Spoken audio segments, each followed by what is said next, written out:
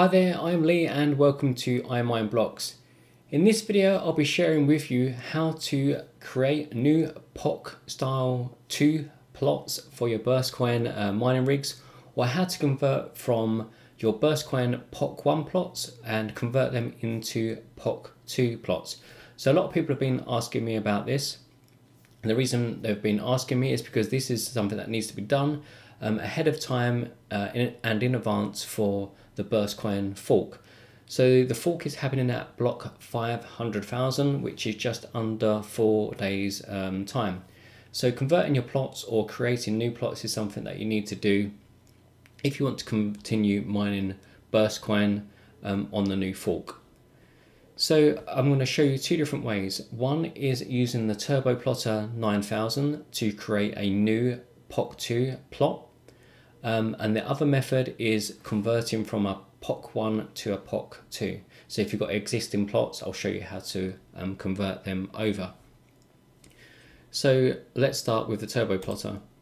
So the Turbo Plotter, um, I've done this a really good in-depth video on the Turbo Plotter and um, for some people if you're not if you're new to Burst it might just be easier to watch that video and then just start with it. So the Turbo Plotter 9000, what they've done is they've added this POC2 support and they've added that by default. So if you just download it and you create your first plots with it, they will automatically be POC2 um, plots, okay? So from the Turbo Plotter website, you select it and um, download it like you normally would um, any other file. So then from your downloads folder, you should have a zip file. So you've got this turbo plotter and the version that is currently um, available is this 0.9. So I've just extracted that and now we've got this turbo plotter 0.9. So when you start it and the first time you run it, it will ask you for your burst coin address or a numeric account ID. Um, you get the numeric account ID from your Burst wallet or a burst coin Explorer. So we'll start up the turbo plotter for the first time. And like I said, I've done a much more in-depth video of this. I'm just kind of going through this quickly um, if you're more familiar uh, with uh, plotting. So to set the configuration to create a POC2 um, plot, so we select what our writing device is going to be. So in this case, I'm going to select our CPU. The SSD path, I'm just going to leave it blank because I'm already writing to an SSD. If you've got a mechanical drive, you can use an SSD as a caching drive and then we've got our target disk path. So I'm going to put it in this uh, demo plot. Um, and I'll call it Turbo POC, POC2. So then our starting nonce, I'm going to start it from zero for simplicity. If you've got previous um, plots, you'll start at the nonce that they end at. It also has the auto option if you're confused about that. Uh, the max file size, I just want it to be one uh, gigabyte. And sorry, just going back, I almost missed that one. So it says how much uh, file space do you want to be filled. Um, so I need it one, so it's going to be one uh, times one effectively. If you have it a fill, let's say five, and you have the max file size at one, you end up with five uh, individual files and I'm just going to use 8 gigabytes of RAM. So that's all our details. So CPU, no cache, the writing location. We're going to have a total of 1 gigabytes, start on 0. Max file size is going to be 1 and RAM 8 gigabytes.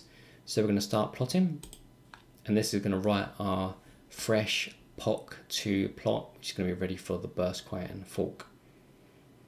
So I'll leave that going, it'll probably just take a couple of minutes.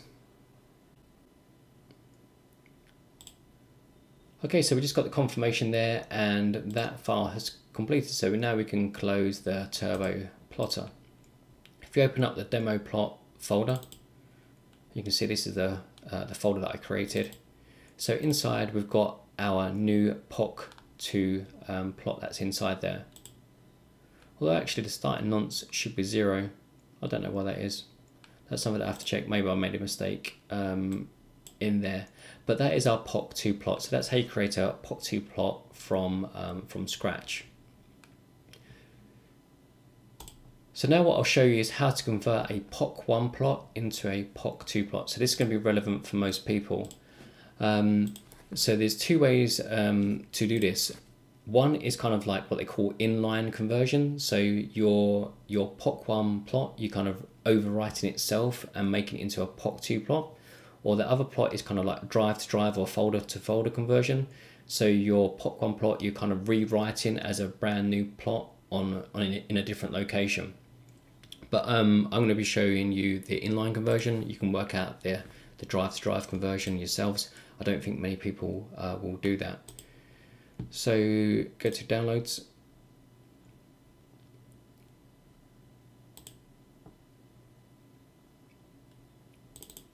So the program is called POC1 to POC2 conversion. If I go back to the um, the Burst software wiki, you can see it's uh, all the way down here. So there's a GitHub um, for it as well. You can see it all there and then just download it from from there Go back to downloads. So you end up extracting the zip file and you end up with this POC1 to POC2 conversion file. So it's a GUI interface, which means it's nice and simple um, to use. So I'll just quickly talk you through it. So we want to add our POC1 file. So you've got an existing plot like this one that I've got here. So it's a five gigabyte plot and it's a POC1 plot. So the original BurstCoin plots like most people will have. And um, we want to open it. And then like I say, so this has two options. We can do inline conversion, like I say, it's going to rewrite the file on top of itself, or you can use it as a, um, or you can rewrite the file to a secondary location. I think it's best to kind of rewrite over the top of itself. Um, uh, particularly for smaller files, if you have a very large file, you might want to kind of move that to a second drive, and that way you're not going to be damaging the original POC1 file in case something happens. Um, but anyway, so we've selected our POC1 plot file. Uh, we've left the output folder, we're just going to left that blank, so it's going to rewrite over the top of itself, and then we're going to start the conversion. There's also a memory option in the top right hand side. Um, use as much uh, RAM as you have um, available. Um, so start conversion. And then we're going to just confirm So what that's going to do is write our plot over the top of itself. So if we have a look at a demo plot folder, so you can see this is the file that we selected. And um, at the end, we should have a, a file that is a, basically the same size, but it'll have a different file name, and that'll be the new version of the file. Okay, so the program has finished, and now if we take a look, you can see we've got this new plot file. So you can see the file name uh, format has changed and that's uh, an indicator that it's basically completed. So now we have a POC2 um, file.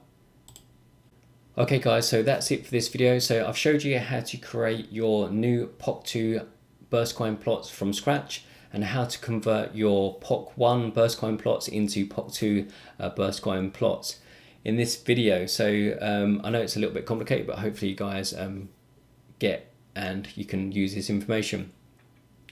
The second video, or the next video after this, which is actually be the third video in the series, will be covering um, your mining. So what you need to do to set up your new uh, mining software and also how to connect to the, uh, the Burstcoin fork pools. So that's part three and I'll be doing that tomorrow. So look out for that one. Thanks for watching guys. Um, I'll see you on the next video.